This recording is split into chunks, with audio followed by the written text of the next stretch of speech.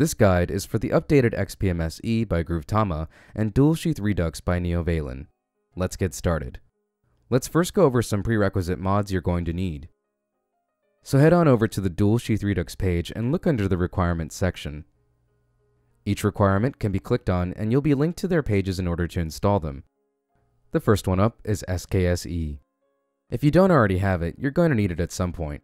Installation is very simple and it's just copy paste work into your Skyrim game folder. If you really need help with this part though, there's a video link to a helpful tutorial by Gopher. Next up is the Java runtime environment. Super self-explanatory, just download and install it. We need this because the Dual Sheath Redux patcher was written in the Java language. More on that later though. The rest of the stuff we need can all be found on the Nexus, but only download them for now. We'll install them all together later. Go ahead and download SkyUI. You're going to need this for in-game options through MCM menus for both XPMSE and DSR. Now we're going to leapfrog over to the recommended mods section since one of these should really be under the required section. Fores New Idles or FNIS is absolutely crucial to make sure things go smoothly when it comes to installing new animations and skeletons. Since we'll be working with both, go ahead and download it or you'll regret it later when things go wrong. Trust me. Under the main files section of FNIS, you'll only need the topmost option. Notice that it says you'll need to run the FNIS generator. We'll get into that later once we actually install it in the Nexus Mod Manager.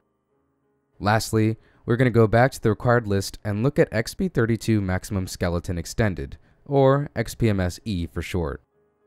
I saved this requirement for last since the XPMSE has its own set of required mods in order for it to work properly.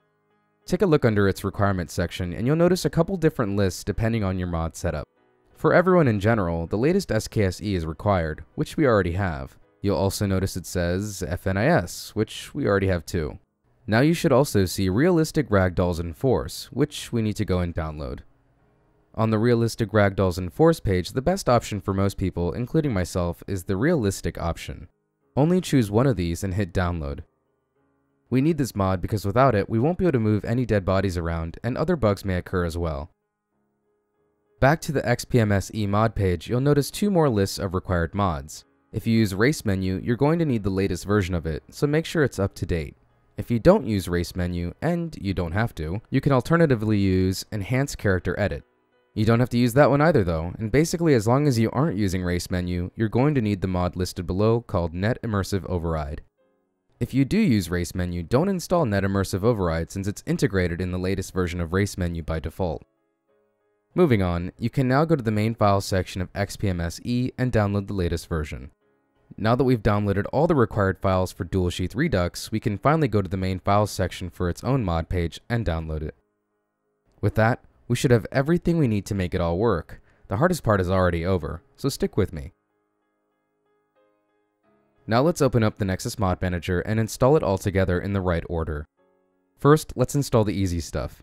Install Net Immersive Override if you're like me and not using Race Menu, and then install SkyUI, FNIS, and Realistic Ragdolls in Force. Now let's install XPMS-E. When you click to install this, a FOMOD installer is going to show up. Let's go through it together. The first thing you'll see is a quick little changelog for XPMSE. Basically, there's an MCM menu now, which is where we'll be choosing our weapon positions and animations. Let's focus on getting there first though, and hit the next button. Now we choose what type of skeleton we're going to need. This will all depend on your mod setup, but in my case, all I needed was the HDT version. Click on each one and read their descriptions in the top right. The skeletons below the one I chose are for people who need more animated body parts for breast and butt physics. Obviously, if you don't use those types of mods, just select HDT like I did. The next page will have some plugin options depending on your mod setup again. Everyone is going to need the first option selected called XPMS E3 plugin. If you use Schlongs of Skyrim along with Race Menu, you'll pick the second one, and the third one is very specific, so again, make sure you read the descriptions and only pick it if you absolutely need it. Down below, the style randomizer options are specifically for Race Menu users and completely optional. I didn't select any of them. When you're finished carefully selecting your options, hit the next button.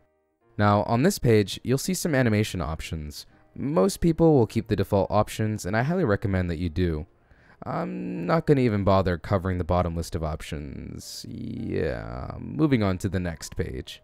You should now be seeing a long list of animations. All of these are completely optional, and I only recommend selecting animations you're already familiar with from their original mods. Most of them are from the mod called Pretty Combat Animations. Again, completely optional, and I didn't even bother selecting any of them. When you're ready, hit the next button. Don't untick any of the options set on this page unless you know exactly what you're doing, and hit the next button again. This is a tricky one for some people. Not all of you will know this, but many of the new animations and weapon positions aren't visible in first person, which can throw some people off. There are some animations and ways around it, but none of them are very good and without bugs. I personally don't recommend that you try any of these options at this time.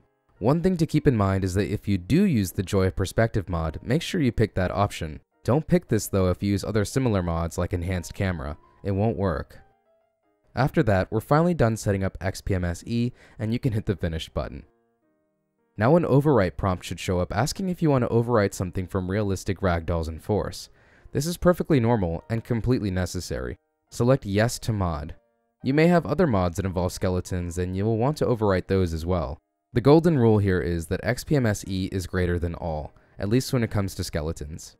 Since XPMSE also has animations now, you may want to install animations on top and overwrite those from XPMSE.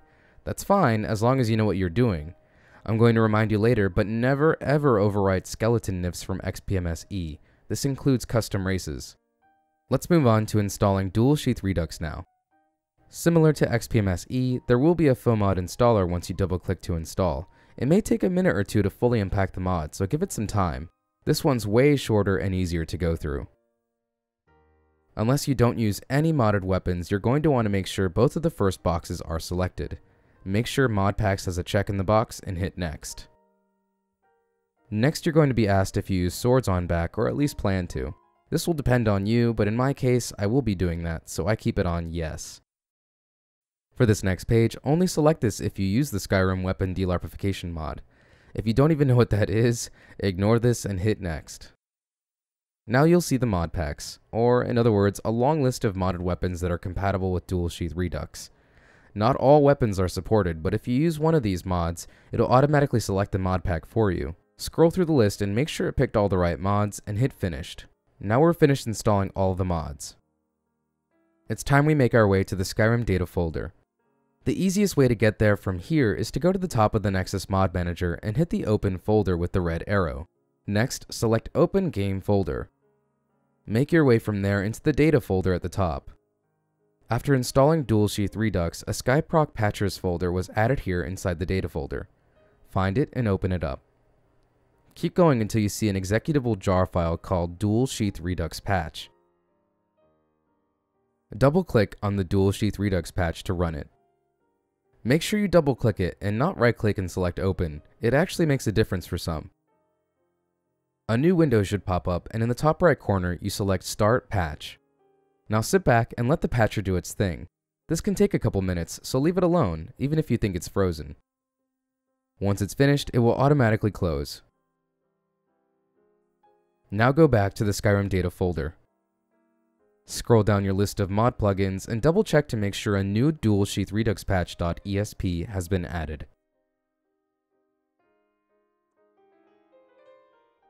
Now scroll back up and find a folder called Tools. This folder was added when you installed Fores New Idles. If you don't see it, then you either don't have the mod or forgot to install it in your Nexus Mod Manager. Open up the folder and you'll have two options. Open up the Generate FNIS for Users folder. Inside here, you'll see an app that you need to run called Generate FNIS for Users. Sound familiar? Yeah. Go ahead and double click on the red app with a large F in the middle. An orange and white box will pop up with a bunch of stuff you don't really need to understand or worry about. At the very bottom, make sure you have two boxes ticked on under patches. You need gender-specific animations and skeleton arm fix checked. If you don't have both of these ticked on, you won't be able to see your shield raised while walking in game. With those two patches selected, hit the big yellow Update FNIS Behavior button and let the app do its thing. After it's finished, you can hit Exit. FNIS is really, really important, and I can't stress enough that you'll need to run this anytime you change animation mods or skeleton mods as well. I recommend adding the FNIS app to your taskbar or make a shortcut to your desktop to make things easier. Now go back to your Nexus Mod Manager. It's time to do one last thing before going in-game. In your plugins tab on the left, scroll down to the very bottom and make sure the new Dual Sheath Redux patch.esp is there. Now make sure the white box next to it on the left is ticked on just like the other plugins. I say this because mine wasn't by default. With that, we're finally finished installing all the mods, patching Dual Sheath Redux, and running FNIS. We can now safely load up the game. Alright, with all the hard stuff out of the way, we can finally have fun adjusting the weapon positions and animations. At this point, you'll have to wait until the MCM menu shows up in-game for XPMSE. It will show up at or near the bottom of your MCM menus list. It didn't take long for mine to show up, but you can also install a mod called Jaxonz MCM Kicker, which will make it show up faster. While we wait, you can also go ahead and test to see if Dual Sheath Redux is working. I'm going to demonstrate using a series of Skyforge steel weapons and a shield.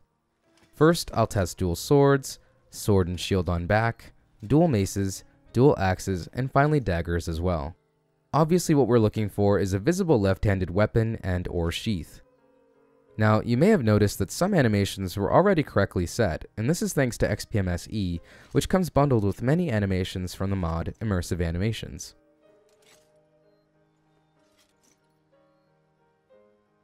It's pretty amazing that it can tell what animation you need, but sometimes it needs some help, which is where the MCM menu comes into play. So go into your set of MCM menus now and find XPMS-E. Once there, click on the Styles section. By styles, it really means weapon positions and animations that come with what you select. On the left-hand column, you'll choose weapon positions for what you wield in your right hand, and on the right, you'll pick where your left-handed weapons show up. Yeah, I know. It really should be the other way around, but there's nothing we can do about that. Anyway, let's say you wanted dual swords on back, or one sword on back with a shield as well. We can do that. Go under the sword section and select sword on back for the right hand, and then sword on back for the left as well.